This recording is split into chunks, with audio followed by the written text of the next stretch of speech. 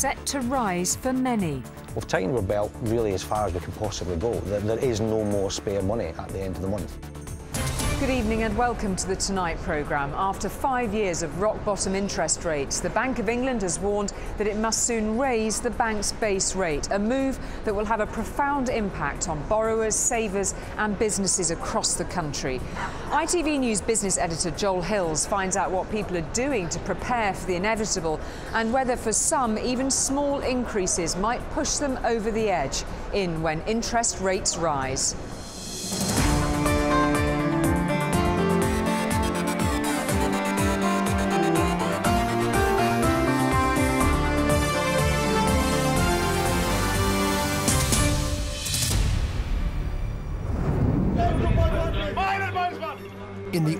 Of 2008, a financial crisis almost wiped out the world's banking system. It's difficult markets, very difficult markets. Everyone's very tense. Century old companies collapsed overnight. The country plunged into recession. Faced with panic, the Bank of England cut interest rates from 5% to 0.5% in just six months. It then began creating billions of pounds of new money. It became cheaper to borrow. Savings rates slumped. The bank wanted us to keep spending. Now the bank is signalling that the worst may be over, that soon interest rates will increase again. There's already great speculation about the exact timing of the first rate hike. It could happen sooner than financial markets currently expect.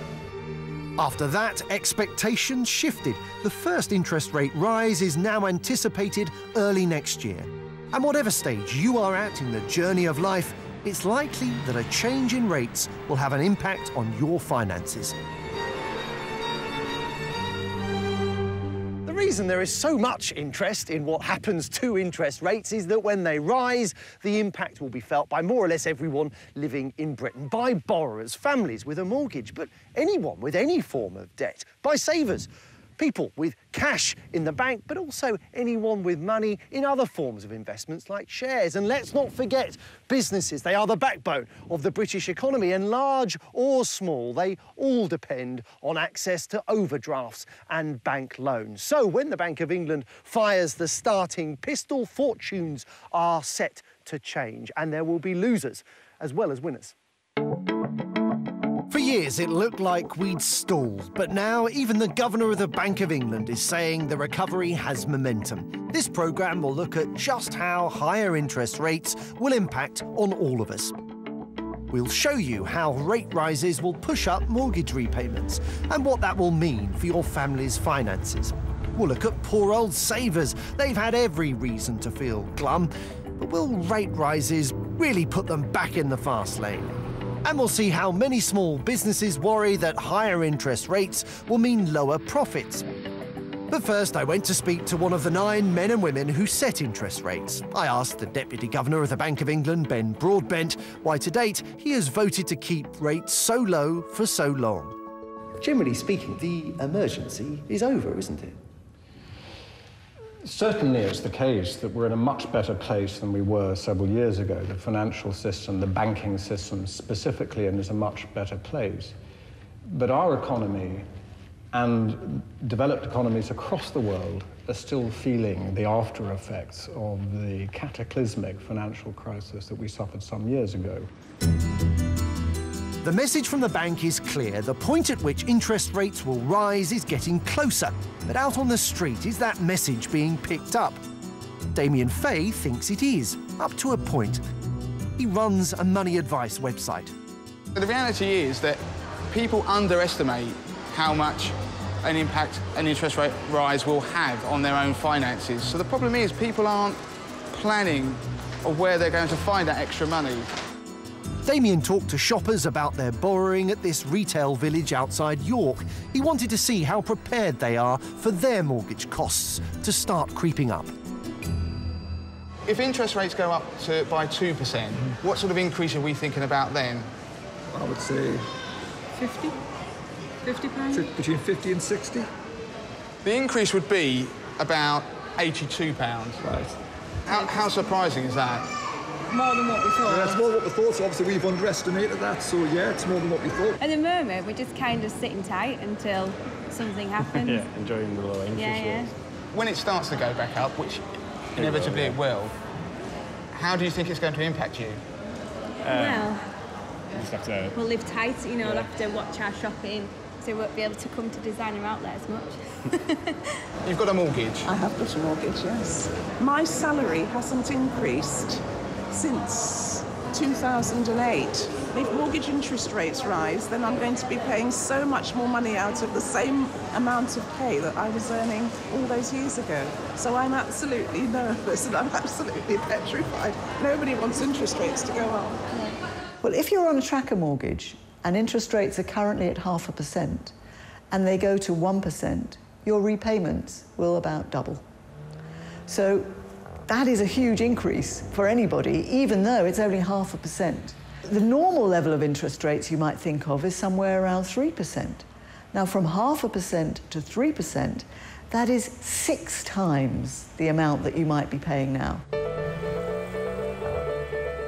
Research from the Money Advice Service suggests that nearly half of people with mortgages would struggle if their repayments went up by up to £150 a month, and one in five mortgaged homeowners would have problems with any rise at all. The same survey of 3,000 people found that more than two thirds of them were already stretched when they took out their mortgages, so it's no wonder that the Bank of England is having to think very carefully about when rates rise and by how much. Our best estimate at the moment of, of, highly geared households, these households spending more than a third of their income on mortgage repayments, is around about 1 million. So that's just over 1 in 10 of, of households with mortgages. As and when interest rates start to rise, let's say they go to 3% by 2018, which is what's expected at the moment, then our, our, our best estimate then is that that 1 million figure becomes 2.3 million, and that's more like 1 in 4 of all mortgages. But these are projections, of course. So what do the Bank of England think? How many households in the UK do you judge to be highly indebted and therefore vulnerable? I don't think one can say specifically a number. But I suppose the point is that could be a very large number, couldn't it? And the, the, the suggestion here is that, a, from some quarters, that quite a modest rise in interest rates could cause hardship. I would lean against the view, I think, that any rise in interest rates would cause uh, sort of calamity for a very large number of households. I think that's an exaggeration of where we are at the moment. Well, what I'm getting to here, uh, Ben, is really simple. Is that we have you know, repeatedly bumped into people who are quite anxious about the situation they're in and quite anxious about interest rate rises. And I think they probably want some reassurance that you have some idea when you put interest rates up Absolutely. what the impact is going to have. First of all, the pace of increase will probably be more gentle than in the past. And secondly, that the point we're likely to get to after this period of rising interest rates will be materially lower than in the past. Stephen Ray is a school teacher who lives in Lincolnshire with his two young children. His wife also works in the public sector. When we were looking to move uh, around about the time we got married, we were looking for a, a larger house that a family could grow into. We opened the door and we could see right through the hallway, dining room, kitchen, straight into the garden, all in one shot. Uh, and as soon as we walked across the door, we just knew that this was the house for us. When you have memories such as the boys coming home from the maternity ward, the family coming to stay, uh, it becomes sentimental. Stephen and his wife have not seen a pay rise in the last four years. Stephen believes any increase in their mortgage repayments would put serious financial pressure on the family. The mortgage alone uh, accounts for about 40% of our family income. Uh, the utilities, that will probably be a, about another 40%. Uh, so that doesn't leave us with a, a, significant amount spare. And once you take into account shopping and any other family or home or car emergencies uh, that crop up during the month, even just 1% increase would be increasing our living costs by 150, 160 pounds. 3% just would be unaffordable. We've tightened our belt really as far as we can possibly go. There is no more spare money at the end of the month. Stephen currently has a variable rate mortgage, which means his repayments rise and fall along with the Bank of England's base rate. With that rate set to rise, Stephen has decided to change his mortgage. He wants to fix his monthly repayments for the next five years by applying for a fixed rate mortgage. knowing that our mortgage was due to run out at the end of the month and being a little bit worried about possible uh, interest rate rises as indicated by the press. And so I've spent a lot of time on the internet and we've come to the conclusion that now seems to be the best time to change my mortgage uh, and also to tie in for as long as possible. Fixed rate deals are dearer, but Stephen and his family are prepared to pay a bit more today for the certainty of knowing what their mortgage repayments will be tomorrow. A fixed rate mortgage won't suit everyone. Good boy. As far as people switching to fixed rate deals, we've already seen a massive movement towards fixed rates. Now, for some people, that is the right thing to do, whereas for others, it's, it, you may not need to do that, and you may be able to get much better rates and put some money aside for when interest rates move forward. So it's one of these myths, I think, that we always think, oh, when they're going up, it is better to fix. It is for some, it isn't for others, but it is something you need professional advice on for your personal circumstances. While some of the country are worrying about how they will cope when rates rise, a whole other group is wondering how they will cope until rates rise. Because while the stock market has performed well for investors, for people putting money away in the bank each month, low rates have been a disaster. Interest rate rises can't come soon enough for savers with cash. For almost six years now, they have had a miserable time. Returns on their savings have collapsed. In fact, get this, money in the bank has probably been losing value, with interest rates lower than inflation. Very low interest rates are unfair to the poorest savers in the economy, those who really need income from their savings. They've done very badly over the last few years. And the bad news for them, in the next few years, that's unlikely to change. If you have been really prudent throughout your life and you've put 30, 40, 50,000 pounds away, you've got it in a savings account, sadly the effect is, because the saving rates are, in other words, the return that you get is lower than inflation, so in other words, the cost of living that you're experiencing, it means it's really eroded the money that you've got in your back pocket. Trish and Angela are sisters. They live opposite each other just outside York. Proud homeowners both. They had mortgages to pay 23 years ago when interest rates hit 13%. Today, they are mortgage free and watching the real value of their savings shrink. So you feel that you were clobbered by high rates then and you're being clobbered by low interest rates now? Precisely, yeah. Because the interest rates when I bought a house, they were sky high. And now I've paid for my house and I think, you know, I'll put a little bit of savings away, make a little bit of money for when my husband, because he wants to retire but he can't. The interest rates have dropped right down here. So, uh, again, the it is again, and, and it's so annoying that mm. they were taking all that offers before, and now I want them to give me it. It they've, taken it, they've taken it away again. So, Tricia, you've got money in the bank, you've got money in your ISAs. Yeah. What sort of interest are you getting on your savings? But what's getting on the current account, you would get, was it, how much? Three percent. Three percent. So we did that. We thought that was great, you know. And then that changed again. Just to just give you that, you think, oh, that's lovely. You don't think it's going to change. And all of a sudden you get a letter there to say, it's going to change now in November. To go back down to 1.5%. And same as the ISAs. So you're still saving, despite low interest rates, you are still saving. I'm still saving. Trish, but you're feeling a bit... I'm a bit, bit pinched, actually, yeah.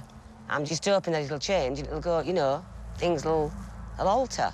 You know, you feel sometimes where you've lost out, really, and that is looking at your statements and thinking, well, you know, it should be better than this. It doesn't give you any incentive at all to save. It might as well be sat in my kitchen on my side than be in the bank. So what I'm doing, I'm spending. And she really is. Most of her savings are now sitting on her drive. Mm-hmm. This, this is your yes, nest egg? It is, yes. Can we look inside? Yes. Wow. You spent the majority of your savings on a mobile home. With hindsight, is that something you regret? No, because when we go away now, it's, it saves us on hotels, eating out, eating. Um, we can sit outside under the awning, read my but book. You, but you spent most of your savings. Yeah, I wouldn't have spent that if it had been making anything, but it's not making anything, so I thought we might as well spend it. At least we've got something now to show for it, which we didn't have in the bank. So there was no point saving. Angela spent the money. Do you ever get a bit envious? I do, yes, because when I come with my dogs, you know, to, to, with my dog to go for a walk, I, off, I always look at this and think, oh, you know, this is what I could have had if my money isn't now where it is. And I, is it, have I done the right thing? The money's sitting But there. the money's it's not sitting getting there, much no. interest. It must be really Just- tempting. I'm just doing a waiting game, actually, actually, really, because I'm waiting for things to change. How, how long are you going to give the Bank of England before you get a mobile home? oh, I don't know. We're getting on a bit, aren't we? So really, it's going to be have to be soon.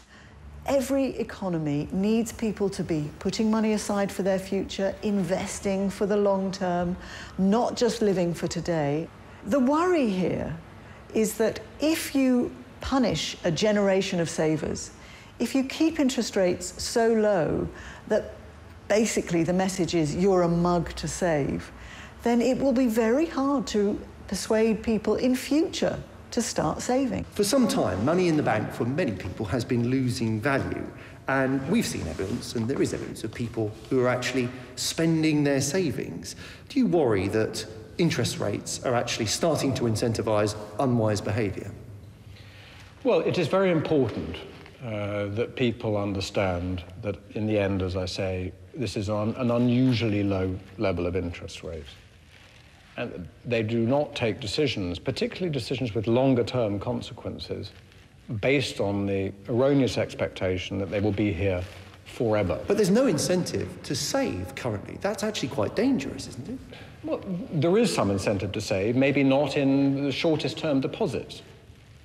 Okay, so other things are incentive to save in. Do you acknowledge, though, in the process of doing that, there are, there are a large number of people who feel it's been rather unfair? They've been unfairly treated by the Bank of England. I certainly acknowledge that there are people who have suffered from the fact that everywhere around the world interest rates are very low. But we had to do that in response to the financial crisis. Had we not responded that way, we would have been, all of us, in a much worse position than we are.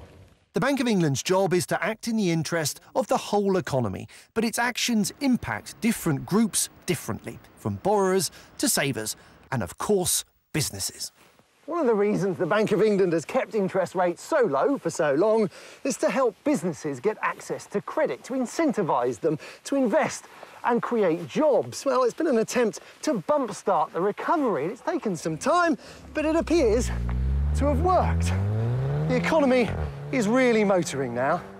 Or at least that's the claim.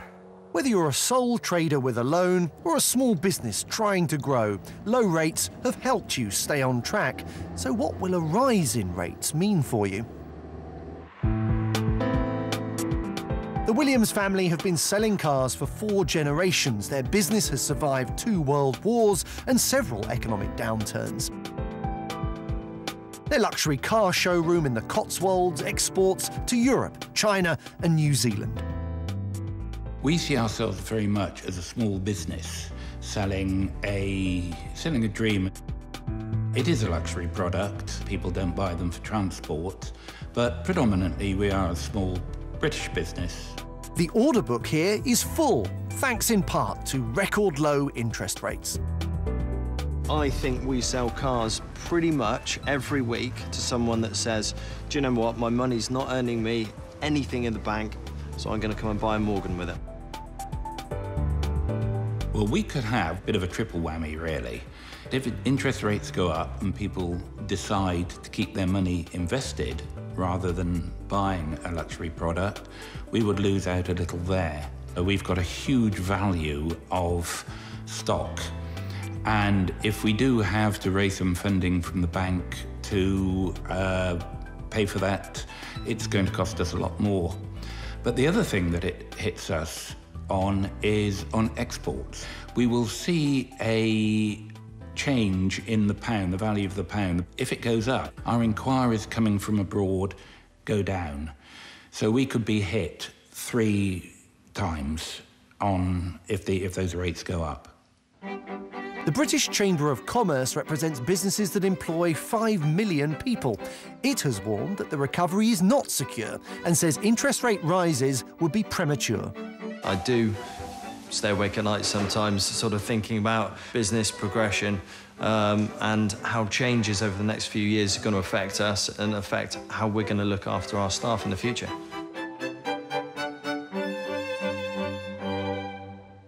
Businesses like low interest rates. They actively lobby in many cases for them. The people that we've spoken to have often expressed the anxiety, though, that the, the, the, recovery is so fragile that any rise in interest rates now would be folly because it would choke off the recovery. What would you say to that? Well, I don't know if we use the word folly, but these are precisely the debates we have on the Monetary Policy Committee. And where do you use that? Um, well, the question of the balance of risk. There is no simple answer that is either unavoidable or folly. Right? And every month we come back and we look at the evidence and we think about these things. I'd say what I said earlier in response to households. It's not the case that any rise in interest rates would push all businesses into penury. That's simply not true. It's a matter of judgment. Um, but nevertheless, we, again, just as with households, have to be mindful not to increase that burden too quickly and only to do so in response to strong and sustainable recovery in the economy. Sooner or later, the cost of borrowing money will go up. But what can we do to protect ourselves from what's to come? Rates have been so low for so long because it was the right thing to do. It saved the world. However, we've all got addicted to this right now, and we look upon it as the only solution. We're addicted to cheap money. It's monetary methadone, and we've got to wean ourselves off that addiction. And that's going to be the, one of the great challenges of the next few years. I think the key thing for, for households at the moment is to, is to really do an MOT, a financial MOT. Think about um, the finances. As and when interest rates start to rise, does that look affordable? If not, what can we do about it? Is that remortgaging, refinancing? Is it somehow in increasing income? Is it cutting back in other areas? So now is the moment in which people can start to, to look at their finances and think about how will they handle it as and when interest rates rise. The Bank of England is repeatedly reminding us that at some point, and possibly soon, the men and women of the Monetary Policy Committee who meet in this room will decide it's time to increase interest rates. And by telling us this, the bank is hoping we'll prepare for it. Interest rate rises, when they happen, we're told, will be gradual and limited. But that's an expectation. It's not a promise. The last time the committee met, they voted 7 to 2 to keep everything on hold. Soon we'll find out if their thinking has shifted. Six years on from the financial crisis and the unprecedented intervention of central banks around the world, we are entering a new phase. In one sense, higher interest rates actually indicate a return to more normal times, and this is something to celebrate. But for some, and we don't know how many, the readjustment could prove extremely challenging.